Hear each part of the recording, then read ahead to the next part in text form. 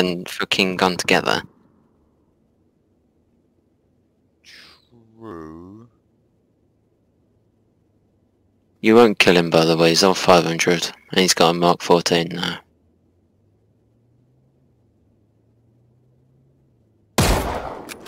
You saying? Uh, okay.